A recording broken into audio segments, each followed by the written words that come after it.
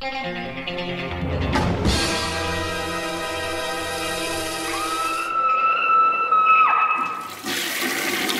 guys, what's up? It is week 289 question mark.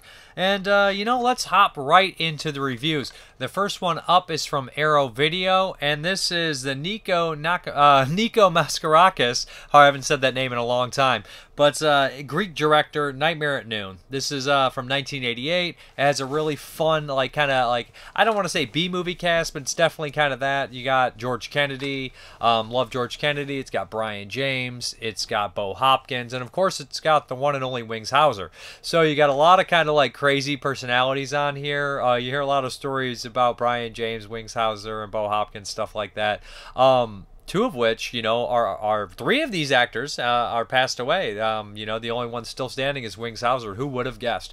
Anyways, uh, this is a really fun movie, and surprisingly, this is one that I had not seen the entirety of. If anybody's not familiar with Nico Makaraskas, he's a Greek director, like I said, and he's directed a handful of genre films, and including uh, what is it, uh, Death, Blue Eyes, Blue Blue Eye, uh, Arrow put that out. I'm sorry, not 100% familiar with that one, but he, uh, Island of Death, which made the video nasties list. It was his first directed film. Uh, pretty infamous movie. He did Hired to Kill, Zero Boys, the kind of action slasher hybrid that Arrow put out. So he's done a slew of films, Blind Date, uh, and he's a pretty solid director. The cool thing about Nico is he is pretty much loose tongue with all the stories that happen. So he'll tell all the stories without biting any his tongue and holding back. And he tells a lot of crazy stories. And he always has these end up making ofs that he's made himself on the disc that are from the old Omega DVDs that used to be released. Uh, so yeah. Anyways, Nightmare at Noon. Let's get into the movie a little bit. Like I said, um, it has a really fun genre cast, and you can just tell uh, a lot of these guys are just chewing at the bit. You know, Wings Hauser is just completely bonkers. Oh, he also did The Wind, which is a really cool movie with Wings Hauser as well. So essentially, what we have here is uh, it's it's kind of like a remake of Mutant, which is really weird. The Bud Cardos movie, which it's not exactly like Mutant, but I believe Mutant has uh, Wings Hauser and Bo Hopkins in it as well from the uh, mid '80s, if I'm not mistaken. And Mutant is kind of the story about a small town being infected with something, and a lot of people go crazy. This is a, a story like The Crazies from 1973. Essentially, there's a government official or rogue government official Brion James, who plays a very creepy albino type character, and him and his goons kind of poison the water supply of this small, you know, desert town. Wings Hauser and his wife are traveling through. They pick up Bo Hopkins, who's a hitchhiker, and George Kennedy and his daughter are kind of the sheriff and deputy kind of duo in here. So essentially, what happens is the small town starts to freak out. Uh, the first of which is an old kind of man that seems harmless at first, and he kind of loses it in a restaurant, which is a pretty cool scene. Um, Bo Hopkins and Wings Hauser definitely play like kind of a buddy buddy story here. It's kind of like a traveling, like kind of at odds, kind of weirdo, kind of like group paired up, you know, oddball group, and they have a lot of good back and forth. They argue with each other. They have some like kind of funny funny hijinks during the fight scenes, even when people are getting shot. You know, yada yada yada. There's a nice uh, amount of explosions that you would expect from a Nico movie. They don't skimp on the special effects. He always is trying to do something bigger than his budget would, you know, let him, and it always it, it's pretty successful. You know, I mean, there's a helicopter chase scene, there's cars exploding, there's lots of stunts, there's lots of shootouts. It's never dull. It's pretty fun. Um, it's a story we've all seen, um, but I don't think you've seen it exactly with Bo Hopkins and Wings Hauser. Wait, Actually, you might have already seen it, but maybe you didn't see it in a desert town. I don't know. Uh, so, so that's what I'm saying. It's nothing exactly new, but it's a lot of fun. The Blu-ray looks fantastic. if you're in like B movies that just have a lot of action and a lot of kind of like you know special effects, nothing like extreme gore, but there is some gore there here and there.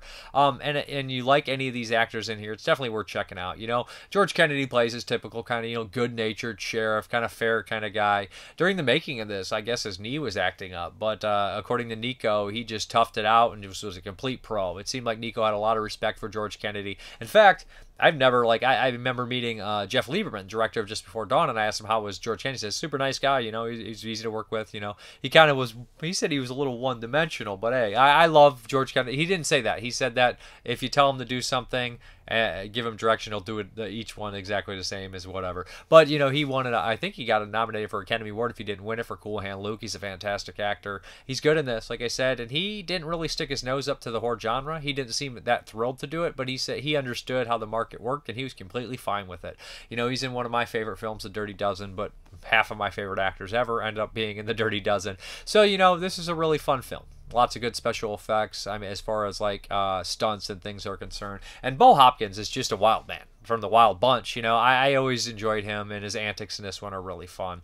Uh, he's just kind of like this tough law man that's been kind of you know excommunicated from his you know his job and everything, but you know he was in the right. because He killed a rapist. Um, there's an old like uh, making of on here where they have interviews with him, and Bo Hopkins is talking about his character and just kind of goes off the cuff a little bit. That's fun.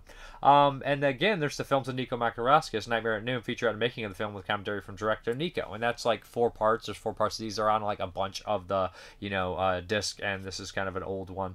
And then we have behind the scenes footage, original on center interviews with actors Wings Hauser, Bo Hopkins, Kimberly Beck, George Kennedy, and Brion James. And we also have music from Hans Zimmer and Stanley Myers. Hans Zimmer obviously went on to do huge movies. He's a you know classic composer. But anyways, this is a lot of fun. I can't see that many people not enjoying it if you're into like action shellac that uh, is above you know its budget grade does a successful job. Very fun movie. Okay, the next one up is another Arrow Films release, and this is from 2022 as well. And this is uh, by Eric Pennycoff, and uh, this is The Leech. And this is a movie, uh, he did a movie called Sadistic Intentions, which I did not get to check out, which starred Jeremy Gardner, who's in this film. But also in this movie is uh, Graham Skipper. So it's, it's kind of like a four p four actors in here. You got Jeremy Gardner, Graham Skipper, and I want to get the actress's name right. Uh, uh, Taylor Gardner, who I believe is actually married to Jeremy Gardner. So um, I didn't know what to expect on this one, and right when I popped it in, I was like, I think I'm in for a treat. I think I'm in for I don't want to say hidden gem since it's brand new, but I think I'm in for one that uh, I think is going to get some buzz and some recognition. Maybe make some year-end lists because I really enjoyed this. This is exactly what you do with a low-budget kind of film. Um, and you know when you compare it to some of the other ones that came out, like The Righteous, which is another film that tackles some of the same issues, but in a completely serious and different way, I think it makes a nice counterpiece with this. Although I prefer The Leech, it's more my style. So, um, anyways, I've watched Jeremy Gardner and Graham Skipper act for a, a long time. You know, since I've seen Graham Skipper in Almost Human and Jeremy Gardner in The Battery, I've seen these guys come up in a lot of independent films and and get some bigger roles and everything like that. And I must say, um, every time I see them, I like them more um, every time they do a different role. And I just, and especially Graham Skipper, because I always thought Jeremy Gardner was great. I always loved him. But Graham Skipper was an actor that I thought, oh, he, he's all right. But the more and more he just gets excellent. And he's just he was always good but now he's just fucking fantastic. I love him in this movie. I think his character has a lot of depth. I think the way he performs it is dead on perfect. So we have here is um, a priest i would a father in graham skipper and it's around christmas. It's approaching the holiday. And he does he has this beautiful church. He writes these sermons uh, that um, everybody should listen to i guess according to him. But you know what? Really nobody ever comes to his church. Three or four people. He has rigo who's a young man that kind of follows him and, and helps him out with the church and everything and makes music. And, and that's pretty much it. Um, he pays, he posts all these things on Facebook, um, touching certain subjects that could be touchy nowadays, especially. And he gets one like every time. He's just screaming into the abyss, essentially. One day, Jeremy Gardner is sleeping on one of the pews and he has no place to go. And right off the bat, you can tell Jeremy Gardner is a, is a grifter. You know, he's a leech? Is he the leech? And there's a great little featurette in here that explores all this, and they talk about who is the leech and all this, and they go in depth. I thought that was a great, um, you know, addition to this film, and it added context and it compared to other films and talked about it. It was a really good featurette. I'm gonna uh, shout out what that is right now before I absolutely for- forget. Preaching to the Void, a brand new video essay exploring the leech and Pennycoff's earlier films by critic Anton Bitel. That is a great featurette. Um, and there's also the Voice of Reason, a brand new video interview with Pennycoff and actor Graham Skipper, introduction and Q&A from Film's international premiere at Fright Fest 2022, exclusive introductions filmed by Pennycoff and Skipper, the making of Leech behind-the-scenes footage from the film set, Rigo's music video, Unfortunate, The Pod, and the Phase th- th- 2, three early short films by Pennycoff, and then we also have, you know, uh, a couple commentaries on here. So we have a 5.1 mix, which is well used. Like I said, this is a very dark, dark comedy. Um, and it's a Christmas oriented horror film. So, like I said, like we have these characters kind of meeting, and as uh, Jeremy Gardner invades, you know, Graham Skipper's hospitality and takes advantage of him, uh, we start to see a darker side to Graham Skipper, and you know, Jeremy Gardner's wife or girlfriend eventually moves in with them. So now we have this weird kind of love triangle, somewhat, and this kind of almost, you know, them kind of mingling into each other in a certain way, you know, while he's preaching to them because he's essentially alone, doesn't have anyone to preach to and while they're kind of bringing in these out these these uh, you know subconscious and repressed feelings that he has, and, and this idea that he ha- might have had some substance abuse issues. But anyways, Graham Skipper, Graham Skipper in here, his his face, his demeanor, and how he switches is just perfect. Um, I just love how he holds himself in here. I think it's perfect. I think it's very realistic. Now Jeremy Gardner gets to be a little bit more over the top. If you ask me, he's a little bit more silly, but he, he fits too, and he, he somehow grounds it enough. Him and his wife both grounded enough where they're they're very like this kind of trashy couple, but they're funny. And there's a couple moments in here, these lines that dropped, where I laughed out loud hysterically. I have a very dark sense of humor, and they just won me over where I was hysterically laughing. And I don't want to spoil any of the moments or the reveals or anything like that, um, but it involves you know a collar, you know, a priest collar, which I was like, oh my god, I can't believe they did that. But it, it just fits in perfectly, and it fits in with the way that you know Graham Skipper was talking about certain aspects of you know religion and what he believes in, playing into the end. It's really well done and I think it's great, and I think it's vastly entertaining, and I think I hope I hope that this one gets a lot of recognition and a lot of traction because they deserve it. And I'll go back and I'll check out the director's first film, and I think I'll enjoy this. But this is a, you know, I don't want to say it's it's very you know isolated to a certain extent. It's not super isolated, but it, it's not like a huge movie. You know, it's very low budget. It seems very personal. It's it's only got four actors really in the entire thing, and it works really well. It's the Leech, you know, and most of the contemporary movies that Arrow picks are at least interesting. I've never seen him pick one that was complete crap, and sometimes they're really good films. So I keep out for the Arrow contemporary stuff. I'm sure it's on their streaming service if you want to give it a chance before you buy it, but I would recommend picking it up. It's definitely a contender for my top 10 so far this year. Okay, this next one is from Ronin Flix, and I thought this was kind of cool. They're doing a newer film, and this is Becky. And uh, Becky was a movie that um, I was really iffy on the first time I watched it, honestly. Um, and I, I was a little harsh on it. I just felt like it didn't go far enough for what it is. Let me get into the plot of this. Essentially, what we have here is these four escaped kind of uh, neo Nazis end up taking refuge in this house that they're looking for a certain, you know, thing that's very important to them that is kind of a MacGuffin kind of thing. It's led by Kevin James, but what they don't expect is to run into Lulu Wilson, who is kind of an alienated teenage girl that just lost her mother. She's very upset with her father. Played, um, geez, what is this actor's name? He was in Talk Soup. Uh, uh, Joel, Joel something. I can't think of it right now. But uh, essentially, she's very, you know, alienated and ice. She's very disheveled and everything, and she seems to have a little bit more of your your violent streak than your typical teenage girl because the loss of her mother and, and a lot of other things, and maybe it's just the way she is. So so we have all that going on while these neo Nazis invade her house, and we kind of have you know I, it plays out a lot like a rape revenge movie. Even some of the same beats and the kills are like that, but there is no rape, but there is most certainly a revenge aspect to the film. Um, the neo Nazis are all solid actors. The kind of of main goon besides Kevin James is Kurgan, the Kurgan from wrestling back in the day, and he's pretty solid in it. He's very big, he's very imposing, he's very scary, and they kind of, uh, I'd say he probably has the most character development besides James and Lulu Wilson. They get into his head, you kind of fear where he is, and you know he's kind of a well-established character as in that kind of in that kind of realm. So basically, it's a lot of a chase movie, a lot of you know cat and mouse stuff here, but I I knew what to expect more, and this time I really enjoyed it, and I did not know what to expect. You know, the special edition on Blu-ray with the making of and watching the making of and seeing the interviews with the filmmakers and stuff, it helped a little bit. But just in terms of kind of knowing what to expect, helped me a bit. I, I used to watching a lot of you know hardcore revenge films like Fight for Your Life, which has a very similar plot to this, except Fight for Your Life is like the ultimate exploitation sickie, and and just I'm used to the more kind of really rough around the edge villain types. You know, there is the types like Patrick Stewart from Green Room, which hold themselves. I don't even want to say class because they're Nazis and they're trash, but they hold themselves to a certain standard, I guess, when they, they want to think like they're better than everyone, even though they're complete shit.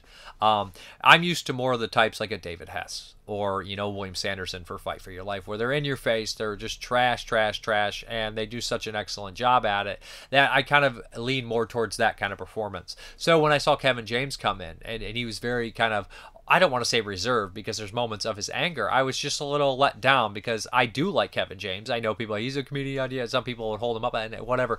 And Kevin James is not you know the movies he's in. eh, all the time. You know, he's in a lot of comedy films, and I, I don't mind Kevin James. I'm not gonna sit here. I didn't watch The Zookeeper or anything, but I'm not gonna sit here and stick up my nose to King of Queens. I I watch the show here and there, and you know, every time he pops up, you know, Hubie, Hubie Halloween. I just he seems like an alright guy. I like his movies. Maybe that's what he's going for. I know whatever lowest common denominator Kevin James or whatever you want to say. But anyways, I enjoy him, and I think he's a solid actor. And I thought he was good in this. Rewatching it, I was like, I was just I wanted something else. I expected something else. I expected the movie to push the limits a little bit more, and it's not that. It's not that. It's more of approachable for a, a, a you know younger audience than you would expect. Although it's gory and mean spirited in certain aspects.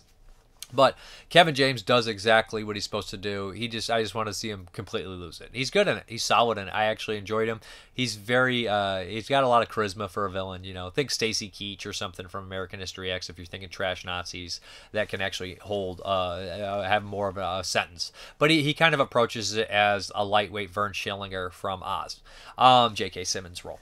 Uh, yeah, so Lulu Wilson's really solid in it, and you can see moments of her turning, you know, from you know from taking that step further into her, you know, kind of psyche of of violence, and uh, they address that really well. I mean, what happens when a group of monsters attack another person that you know has a lot of psychological problems that could very well become one themselves? So that's kind of what we're looking at here. Um, there's booby traps. People compare it to Home Alone. Um, the kills are solid. They're fun. They did add some CGI splatter here and there, which I don't think is needed because the kills alone are decent. There's definitely one shout out to I Spit on Your Grave.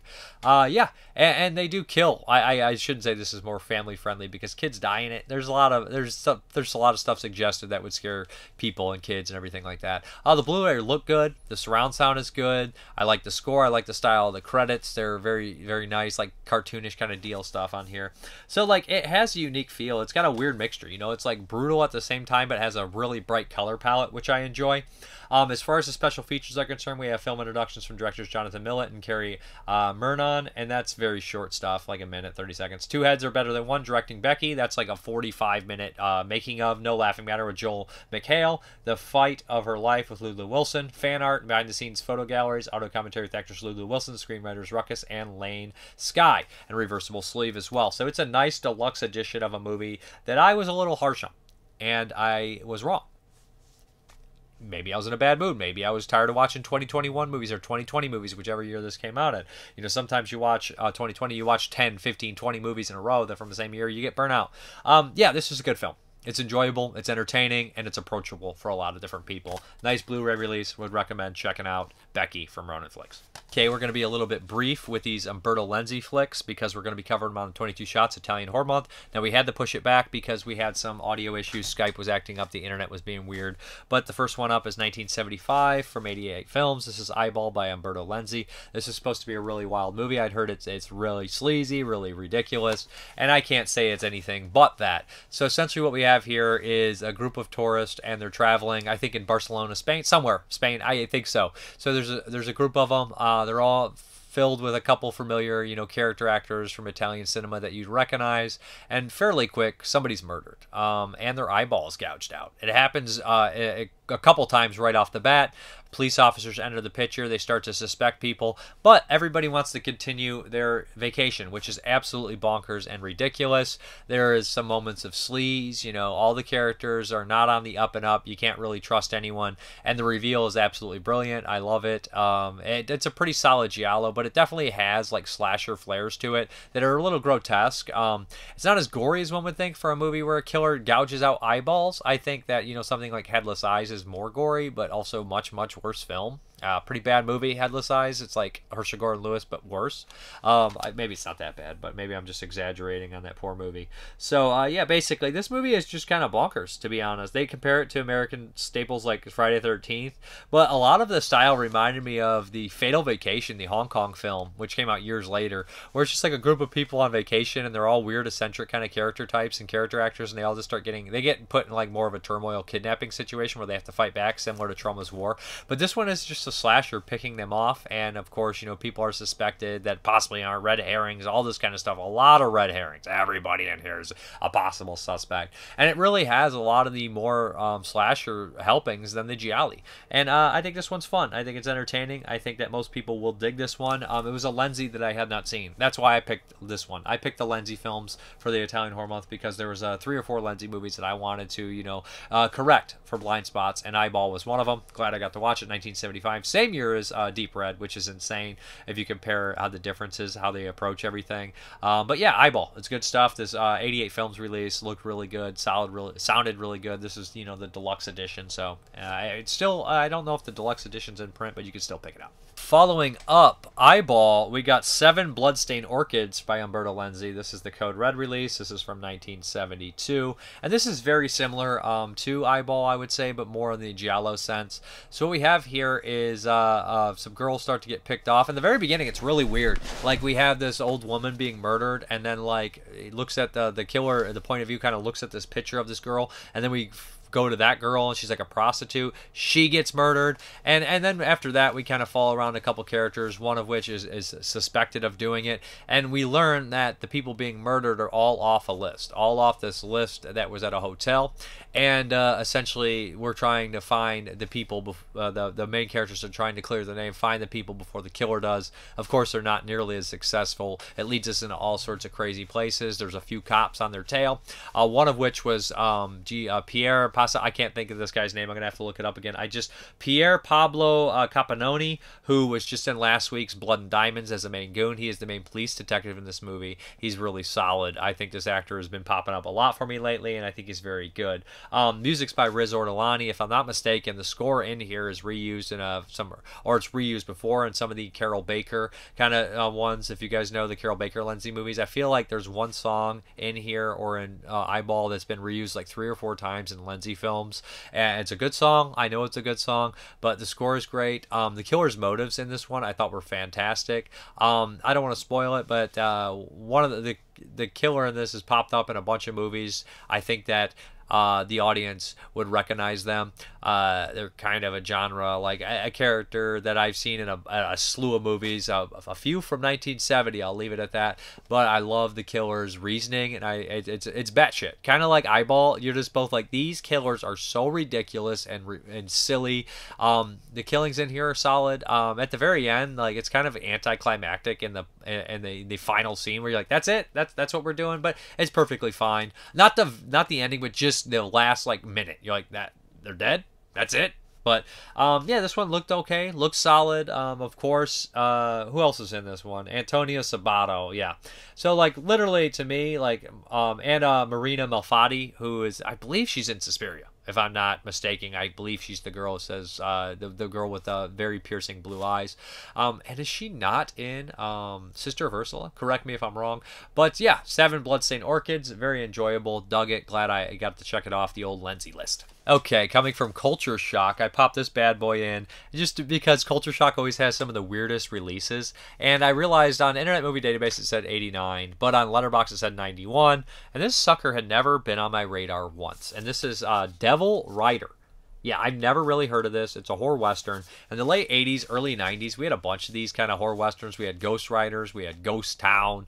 Um, so, so like we even had uh, Grim Prairie Tales. And what was the other one with uh, Bruce Dern from 1991? I can't think of what it's called um, into the Badlands. So like there was these a lot of these horror westerns kind of going on. Um, I know we had a couple in the 70s which were less veered towards horror, like I guess if you consider High Plains Drifter or Hot Snake or or um, Django the Bastard, they kind of have horror elements. Or the one where uh, the killer's kind of like killing everybody in the uh, bell tower and stuff like that. The uh, the the gunslinger. So they have horror elements, but I wouldn't call them straight up horror movies. In the late 80s, early 90s, we literally got like horror westerns in Ghost Riders, Ghost Town, Devil Rider, like I said, into the Badlands. So we have this slew of kind of these this small subgenre that lasted a few years, and I'm sure every once in a while it still pops up uh, with a movie here and there. But Devil Rider is definitely regional, definitely cheap, definitely low budget, but it is on film and uh, it is vastly entertaining. I will not say this is an amazing film. It seemed like a lot of it was ADR. A lot of the acting is patchy, but that could be directly, um, you know, the kind of writing. Um, to be honest, it also reminded me of Dark Power, you know, uh, and Alien Outlaw, those kind of movies like that. Those kind of low budget uh, 1985 movies that are similar, like kind of horror western deals. But um, this one right here, I mean, I wouldn't even call those westerns. They have western tinges in there or backstories or whatnot. These ones are straight up westerns. So it, it's just weird. Like in the very beginning, we have your classic story of an outlaw who seems to be devil, and he's killing a bunch of people, kills some prospectors, um, and just waste everybody. He, they they locals try to hang him, doesn't work. They shoot him, they they hang him, they shoot him, it doesn't work. We fast forward hundred years later, and we have this guy who wants to open this dude ranch at this location, and it just like it calls to him. Well, I need to open it here. His wife and his friends all go out with him. Some people with money, and they're like, why? So we have like a group of six people. They all meet up at this dude ranch. There's a owner there and his wife, and then this old man who knows the history of the Devil Rider. That's what they call the killer. The killer calls himself that. Of course, the Devil Rider can't die, so he's been riding around these parts, picking off people left and right, causing anarchy um, and murder and mayhem. So essentially, what happens here is the Devil Rider shows up. He starts picking off all these ridiculously, mostly lame characters with hilarious dialogue. They pack in nudity here and there. They do it a few times. There's some sex scenes. Um, there's some hilarious dialogue. Um, yeah, the Devil Rider is absolutely chewing the scenery. He's fucking ridiculous. And I think that the director and the lead actor and the Devil Rider are brothers. So like you have or family for sure. They have the same last name. There's interviews with both of them on here.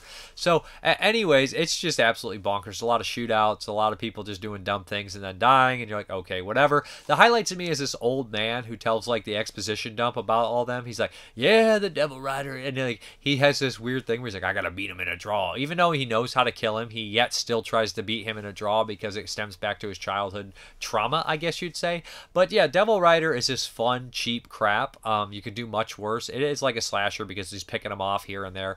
Um, I'm surprised I never heard of this. I'm surprised that I've never really heard anyone talk about this. So it's really kind of refreshing to see, you know, Culture Shock put this kind of stuff out. They also put out the Great American Scream, uh, which I covered on here. They have uh, Girlfriend from Hell. They have some really fun titles, to be honest. And I, I pick up their entire line. Anything that they put out before like 1997, I just grab. Same thing with Saturn's Core. You know, I pick up all those because they put out a lot of interesting stuff. Not everyone's going to be a winner, but uh, there might be a winner here and there. But uh, anyways, yeah, Devil Rider. It's just a freaking blast. It, it's cheap. It, it's it, watch it with a group. Watch it with some friends. Don't watch it alone. I think this is a group movie.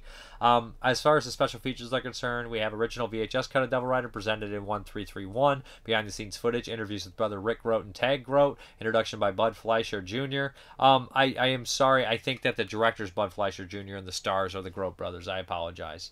Um, this presentation was created by a 2K scan of the original camera negatives. Culture Shock is releasing is proud to premiere the fully uncut version of Devil Rider for its debut on disc, and it's region free, which is awesome. And it looks pretty good for a, a low budget movie shot on film. I would recommend it. Um, and you can watch the original version if you have any nostalgia for it. But, anyways, Devil Rider, recommended. Very fun, cheap movie. Can be relatively quick with this next one, and it is Jajo, aka The Egg, and it's a 1984 Polish film. It's about 45 minutes long. It was a TV film. I had not heard much about it. I just the cover struck me. It's really weird looking. Has some sort of like flying caterpillar cicada thing on it, chicken bird. I don't know what the hell it is. So I was like, okay, what is this? So It's also Polish, and right away it started to remind me of like the direct-to-video Japanese films from the 80s and early 90s, like you know Or Cyclops, just just in terms of its plot. But it doesn't really deliver on the goods like Gozu or Cyclops or any of those movies would. Those that burst of crazy special effects and violence and just insanity, surrealism. This one essentially follows the story of uh, scientists, so uh, a bunch of scientists, and there's this old man who's crazy, and he's a scientist, and he has these theories and these things, and he uh, basically has a person staying with him and a young scientist who's going to work with this like, world famous scientist and his wife. So essentially, what happens is they run this incubator, and he has this theory, this world famous scientist, that he can like reconstruct an entire body from a set of bones. Now he has, uh, you know know, so basically a lot of this is talking and all this other thing and doing scientific experiments. But there is some superstition in the background. Some of the side characters will say things that simply are not true or old wives' tales. So you get this superstitious angle, of course. So you're having science meet superstition. Um, there's a lot of nice shots while people walk through like the streets of Poland. You have a lot of this like fog and atmosphere and decent camera work, which I enjoyed. But for the most part, it's very talkative and very you know experiments until the experiment goes crazy, of course, because we have somebody intervening and messing things up, and we have this huge elaborate exposition what exactly happened. It's not that elaborate, it's not that long, but it's an exposition dump kind of deal, the backstory. And what happens is the Jajo, uh, or I call him the Jajo, you know, it means the egg. The egg hatches, and what it is is some sort of creature that you know uh, is ancient in certain ways. It looks okay in certain aspects, and it looks kind of cheap in other aspects. But you know, it, let's just say it has humanoids from the deep motives, and we have that scene. And it's strange that this was a TV 12 or something in, in Poland because this would not fly nowadays at all for TV 12. Um, unfortunately, there's some real animal cruelty. Um, so if you're very uh, sensitive to that, I wouldn't watch it. A, a, lab mouse is killed on camera and in the kind of the very brutal way, just break its neck.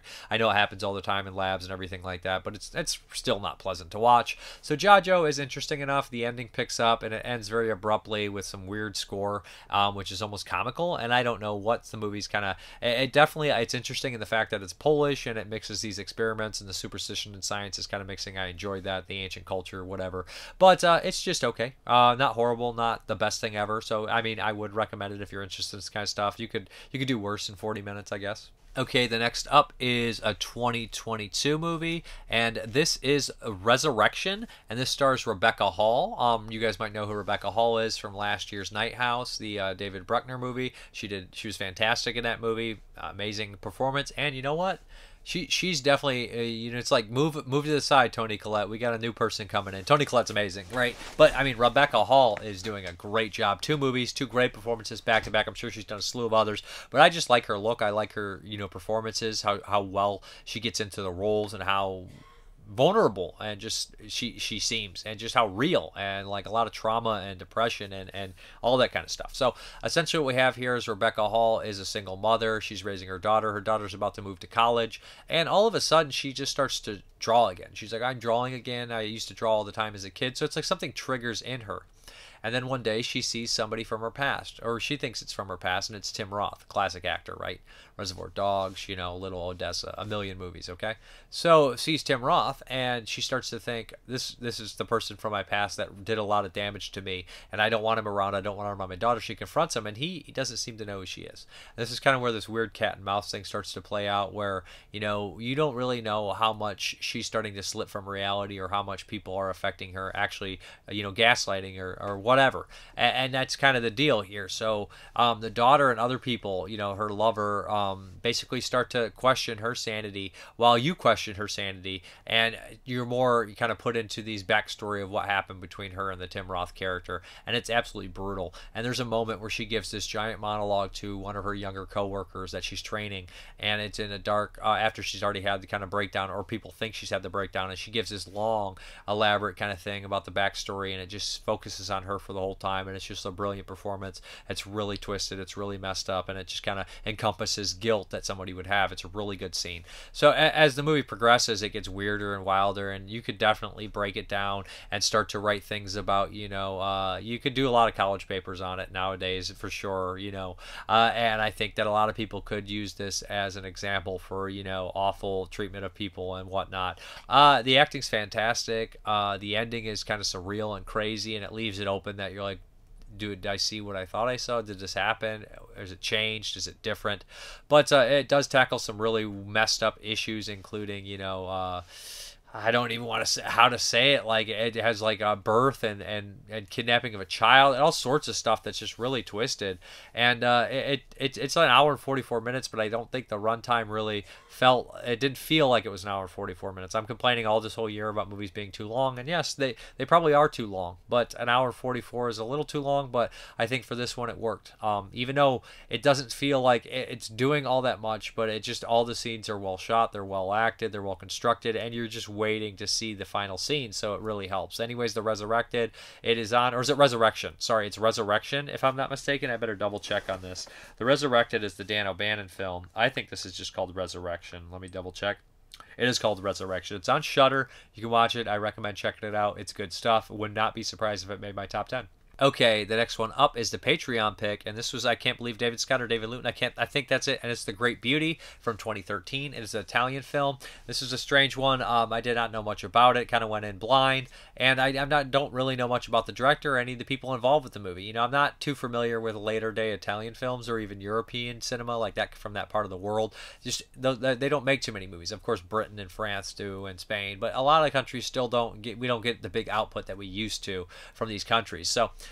anyways, the Great Beauty kind of follows this this critic. Um, he he's not even a critic. I say he interviews people. He wrote one book years ago. I guess it's kind of a mixed reviews for him. He's older. He just had his birthday party. He's about 65 or so, and he hangs around with a group of people that are all you know towards the twilight years. They're getting there. You know, they're just like middle age, but towards the end of their middle age, they're getting to be senior citizens. They are senior citizens, and they just kind of like hang out and drink and over party and and just live a young person's lifestyle. And we're introduced to all these kind of different characters around him. And and he has relationships with people. He and, and something kind of awakens in him when a past lover passes away and he kind of just has like this this look this this inner look inside himself about his life and what he wants to do with it and things he wants to change. Um, visually there's some really beautiful moments. Of course you know it's filmed in a gorgeous location. They have the end credits kind of show you a huge part of that location which is very welcomed.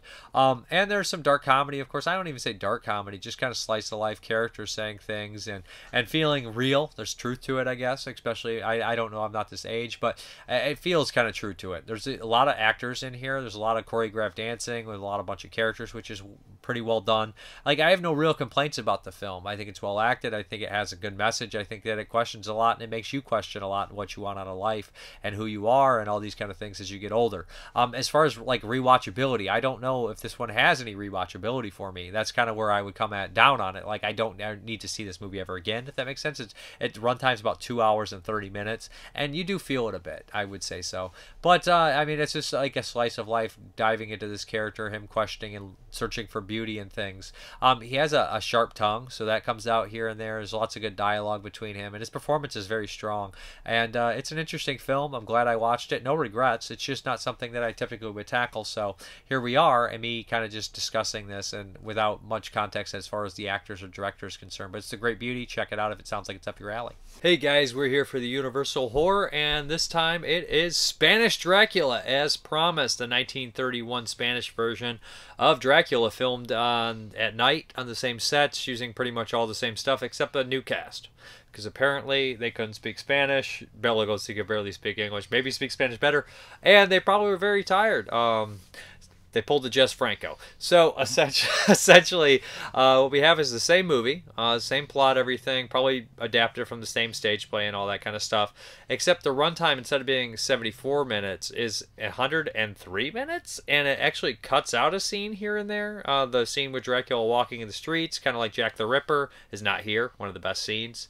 And the cast is obviously different. Um, I know some people believe that the Spanish version is as good or superior than the original Dracula, and I have to say I completely disagree.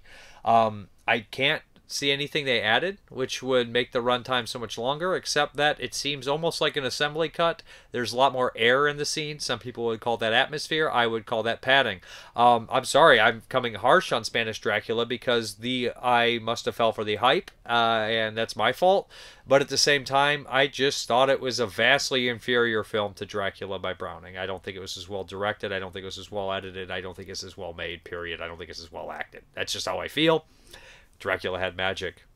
This is rehashed stuff. It's just not. It's the same, but it's just not. It doesn't have the magic for me. I I don't think that it's necessarily like a poor movie. Um, I do think that like it does have a longer runtime, and I think that they do pause on certain scenes. Um, but I think they don't add more, anything. There's more atmosphere shots. Um, that stuff was good, right? Um, you know, more scenes of like like traversal, and I think that characters like take longer to deliver their lines like like you know there's more like dramatic pause and tension and but it does really add to the pet like to the um to the runtime in a and detrimental think, way. Yeah and and it may not be so bad if we didn't watch the exact I same agree. movie script for script you know the the prior week. Um if we had seen these you know months apart it, i think it'd be a different story. Um but with how good Dracula was that we saw last week to watch it done again in a language that we don't necessarily comprehend, it's kind of like, well, I just want to watch the other Dracula. I mean, because like frankly, like Bela or uh, yeah, Bela Lugosi and Van Helsing Van and Dwight Frye were all amazing. right, you know, they they just really made that like such a, a treat. Um, while in this one, I, the Renfield characters, I think, just a little over the top, but not in like a good way. Not uh, like in Here- the Here's what we have here. We have a difference of acting styles from America, Americanized or, or right. to Spanish, and it shows big time because they're more of a stage play in Dracula, and I I'm used to that. I like that. I can get behind that. Mm-hmm. I mean, we especially when we're coming from the silent films, we're we're used to that. We're kind of ling- moving into that, and when we come to Spanish Dracula, it feels a lot like you know stuff like from the Santo films or you know the Aztec mummy films. It has that. um, Telemundo. The- Very over the top. And I know some people said that they felt there was more passion in the performance here. I thought it was hokey. I thought it was over the top. I thought it was grandpa coming at the camera like this. And I really thought that Dracula was terrible. He was really poor in it to me. I thought that his performance was garbage. I I, I couldn't. I don't really, know what he was doing. I couldn't get with the Dracula on this one. Um, Worst Dracula I've ever seen, I think. I don't know Besides about- the one from um, let's. um, Van Helsing. there there are a lot of bad Draculas. I I feel. Nobody's worse than uh, Um, Richard Rocks, whatever, for Van Helsing is the worst Dracula I've ever seen. I, I do say that I, I did like this um Van Helsing. I thought that he was He was solid. you know he was solid. He, but I don't I didn't like him as much as I liked um in the American version. I prefer him too. Um, but you know, he, it's you know when you're watching the American Dracula as Van Helsing, he's he's speaking in like the German accent, and therefore he's a really good foil not only to Doctor Seward but to Dracula himself. Dr. from- Stewart was pretty solid in the Spanish version. No, Yeah, no complaints yeah. about Dr. Stewart. About the same kind of level of performance. same level of performance. And Juan was Juan. Um, was it Juan in this one, or it was, was it? Juan Harkin. We thought he was Is terrible. it Harkin? Harker. Harker, yeah. Um, read a million-page book. Can't remember the guy's name. That guy's that guy's name's embedded in my skull forever. But they call him Juan in this one. well, I always call him Mina Mia. Like I know who the characters Mina, are, yeah. but I'm like I forget their damn names. I, I but- didn't hate this. It's not. It's so hard to rate it because it's essentially the same movie, except it just has more air, and I think some of the performances are much worse.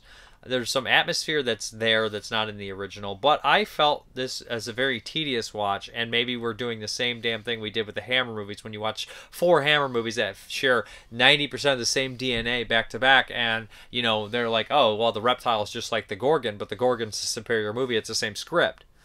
So, like, is the reptile bad? No, it's just the Gorgon is better. Like, and this is what we're at here.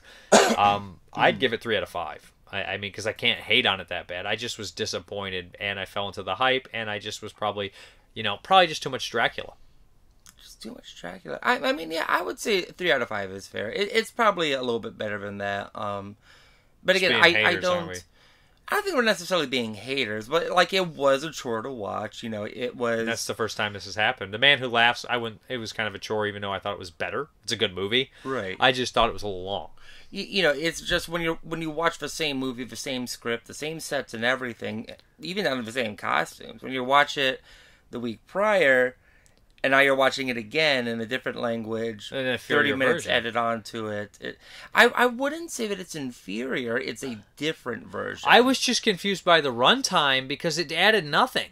Like it maybe really like two or three atmosphere shots, Right. but there are scenes where people are just like, like there's no there's air that needs to be cut out. It's not cut out right. It's not edited right. it, it's like there, there is like more dramatic pause and I, I think maybe they speak a bit slower but like it all just kind of adds up to be like can we just get to the next scene and especially when you know what's going to happen like, when it is shot and how for fast shot. paced the Universal movies have, Right. and, and, you know they're supposed to be. You know everybody's like, oh, they're great because they're seventy to seventy five minutes. Boom, you're in and you're out. And this was not an in and out. This was like a modern day horror film that just didn't have an editor.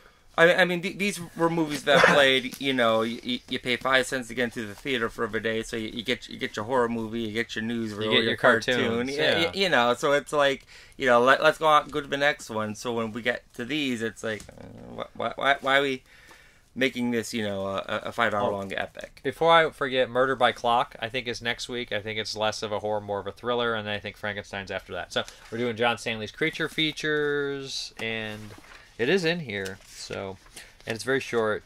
Four out of five, a Spanish language version of Tod Browning's Dracula with different cast but the same sets with the same costumes, lighting, production values. George Melford directed, and some feel he did a good job, if not better, as Browning. Carlos Villarías plays Dracula, Lupita Tovar, Eduardo, oh, that's a tough one, Arizada Mena, Pablo Alvarez Rubio.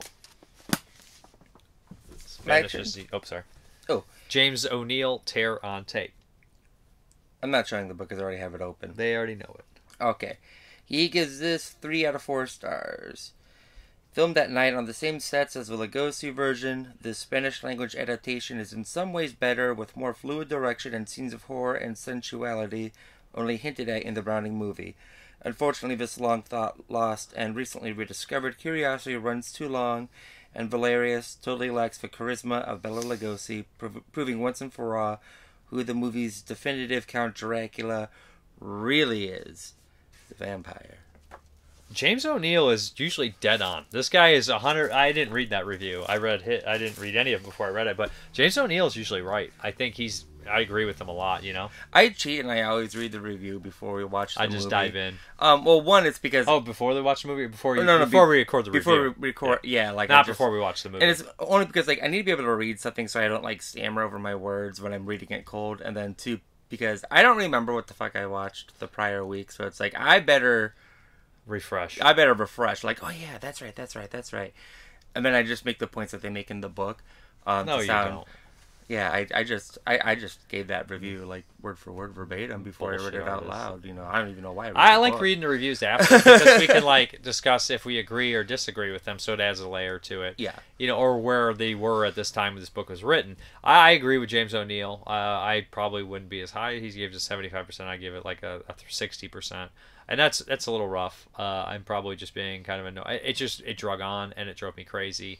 And if I sense something's dragging on, you know, it is what it is. Uh, I don't think it's an absolute horrible movie. I think obviously it's earned its place in history and it's kind of a classic, but at the same time, I don't like it as the original. And the the superior version is the 31 by Tod Browning. Okay, so the, the the chemistry between the characters in in the Browning one is I just it's too good. It's just- Lagos. You know, but the thing it's just too good that I just can't. And I really hated this Dracula. He just made he was very comical. He was very Grandpa Munster-ish. He like- was very cheap and like he just was like eye fucking the camera and he just didn't do a very good job in general. And they didn't do the eye thing right with the lighting. right. Um, so- you know that that scene between um.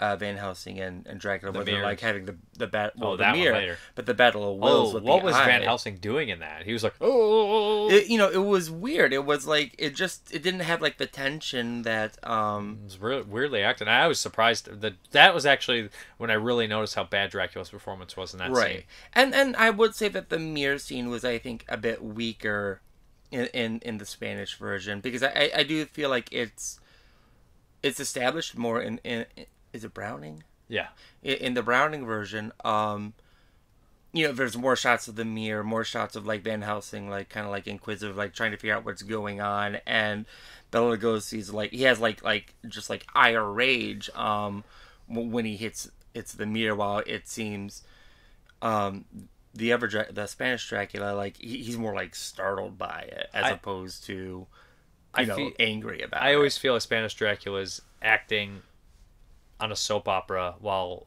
Bela Lugosi's acting for the stage, and the stage is better than a soap opera. yeah to to a point This is soap opera Dracula. This Well, is I mean- uh, House of Dark Shadows. Of yeah yeah Oh, I'm good. You I'm good so what's next week Murder by Clock, I think. Murder by a Clock something like that. yeah It's 31.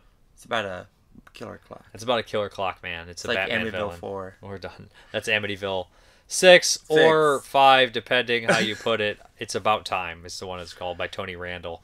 I don't know. Some people don't count Amityville Curse as a as part five. I I, don't know. Leave me alone. I don't know what's going on with the, the history of the Amityville fucking movies. None of them are real sequels, anyways. You know, Apparently, there's like five Parent Trap movies in like. there's like like twelve Home Alone. We're not bringing up Parent Trap. it's just so weird that there's like an extended universe of like the Parent Trap films, like you know. And then they Like should the cross. They should cross over with another fucking Yeah, shitty uh, franchise that shouldn't be a franchise. like twins. No, Like they did with Evil Bong and Gingerdead Man. Like we're crossing this shit over. I don't even know what those or are. Anaconda and Lake Placid, and it, it's actually called Lake Placid versus Anaconda. It's like, bro, that's a lake. Like, how's a lake fighting a snake? You'll drown it. No, what I'm saying, it's supposed to be the crocodile, but they don't want to be like crocodile doesn't have a name, so it's Lake Placid versus Anaconda. Oh, we don't name the crocodile. I'm sure they do, but they're not gonna put that on the cover because no one remembers the crocodile's name. They might like. They well, what's the anaconda's name? He don't have a name. He's just Anaconda. You know what Anaconda is. You don't. The crocodile don't have a fucking name. The crocodile dies every movie. He's a new crocodile, if I'm not Oh, mistaken. So it's like Is it the same? that'd be like that'd be like calling Jaws the the place where he had what was it Amity Beach or something. I don't fucking remember where Jaws takes place. Obviously, I'm, I just lost my horror card. Um, but anyways, that'd be funny if you just called it like you know what I mean. Like Wait, I have a question. Is it not the same Jaws in all the movies? no, Really? He's a fucking shark. He dies. I don't know what's more ridiculous that it's a different shark this happening or is this like I always thought it was like the same shark. Like, no, button like, like four. orca. Button four. The shark has a hit list, and he's picking off the the uh, the Brodies, the family that killed him in the first couple movies. and That shit. killed him in the. Yeah, yeah. So it's the so same. no, it's not the same shark. They all die. So somehow it's like a weird thing. It's like and a- then there's a novelization of it that adds a voodoo curse in there. I was just going to say it's probably Yeah. like a blood curse yeah, or something. yeah. you The, know, the like- novelization adds that. So it's like it's like. I mean, this movie's so fucking stupid. Why don't you just add it in the film too?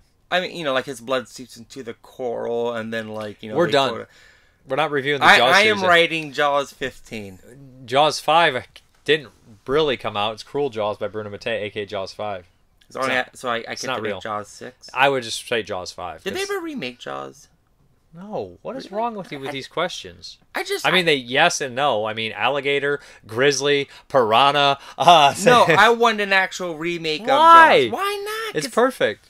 It's not perfect. We're done. Bye. All right, let's get in the questions, comments, concerns. Last week I asked you your favorite Universal horror film, so I'll be brief with a lot of these because if it's going to be a lot of the rehash, I'll just kind of sum it up.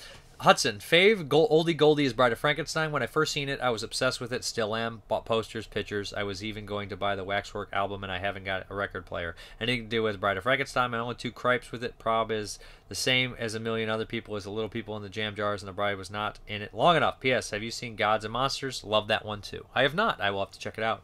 I agree that when I first saw the uh, rewatched it uh, in recent years and saw the people in jars, I was like, I don't know, I don't know, but hey.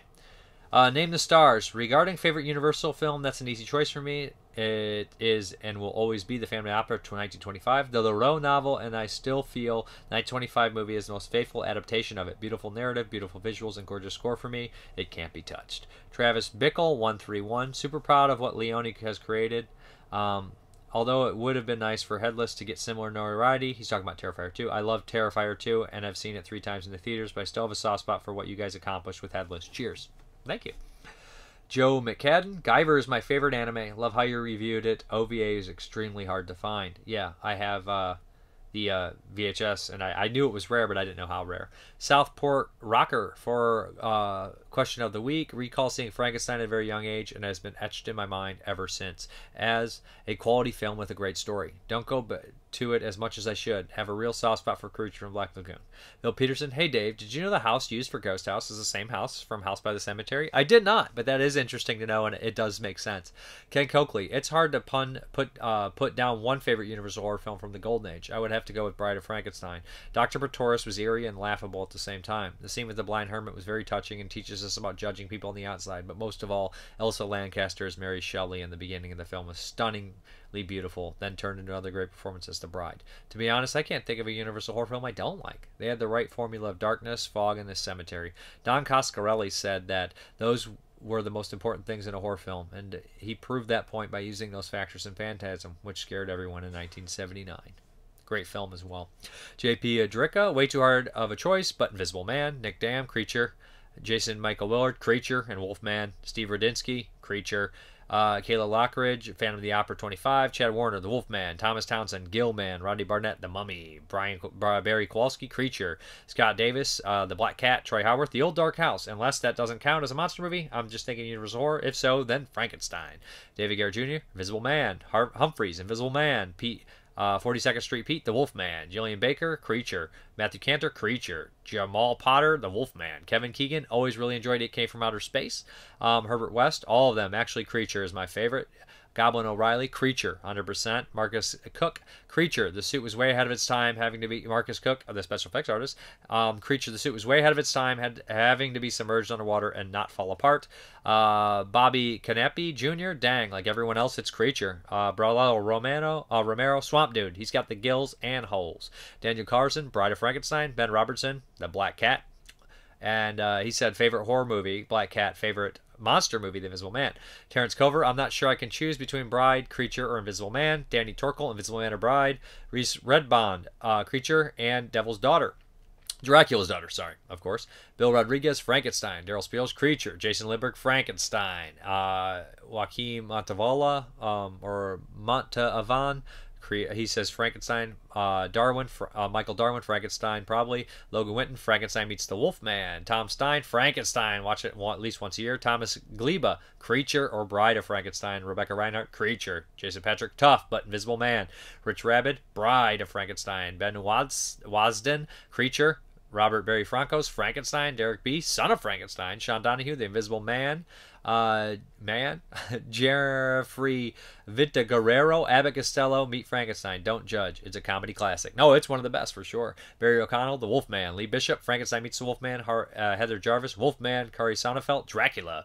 Gabriel Julette, The Invisible Man. Shajin Barbarian, Fuckenstein is my favorite. But The Invisible Man and The Cummy are also great. But seriously, Frankenstein is my favorite of the movies, but Creature from Black Lagoon is my favorite of the monsters.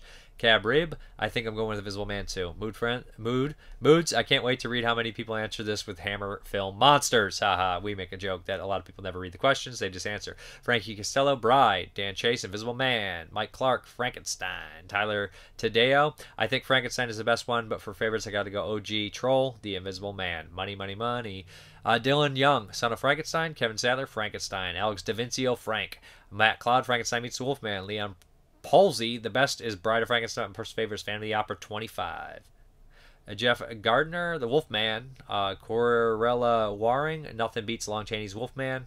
Mondo Ayala, Frankenstein, Jonathan Wilhelm, Creature, Belinda McKay, The Wolfman, Christopher Bickle, Abigail Stelmeet, The Wolfman, Lewis Tout, Creature, Hayden Hall, Not to be Basic, but I Never Tire, Dracula, Tim Walker, Dracula, Tom Lithrop, Creature, Jeffrey Lee, Dracula, hands down, Josh Hayes, Frankenstein, Daniel Roebuck LaFleur, Visible Man, Avery McReynolds, Creature from the Black Lagoon, James Higgins, Frankenstein hands down, Richard Calvero, Creature from the Black Lagoon, Matt Al, I'm going to go with Phantom of the Opera on this one, Dave. And then we have Nick Mua, favorite Universal uh, creature feature, Why the Mummy, of course, the perfect mix of drama and scares. I dare say it still holds up, and Boris Karloff's acting out of this world and into the next. Questions. If you could have a drink with any Universal monster, which would you pick? Ooh, that's a tough one.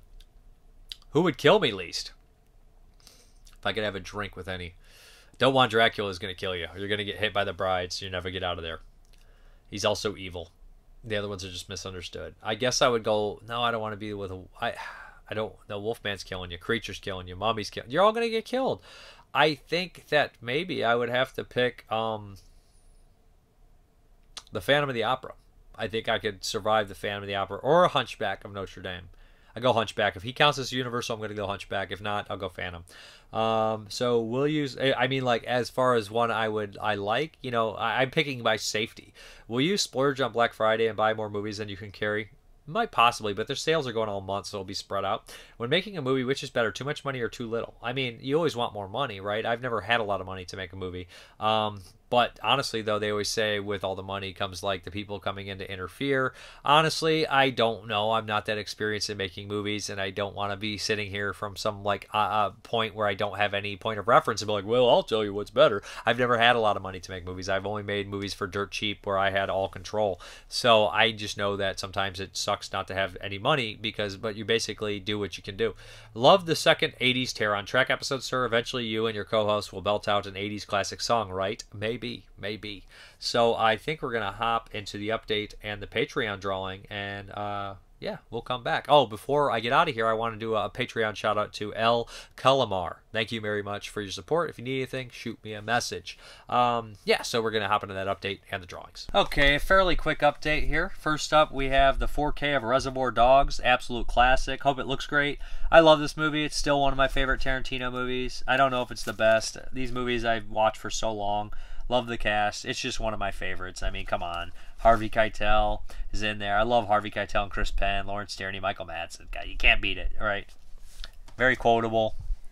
And then we have uh, Quiet Place 2. I've never seen part 1 or 2, but it was dirt cheap, and I was like, well, I'll pick these up. These seem like good movies to watch over, you know, the Christmas break that I'm going to have, you know, just fun monster movies, I guess. Pretty cool, I guess. I hear good things. Then we have this on Blu-ray, the Sonny Chiba collection from Scream Factory. I really couldn't pass this up. I, I really wanted it. had a bunch of movies I had heard of. I was like, this sounds totally up my alley.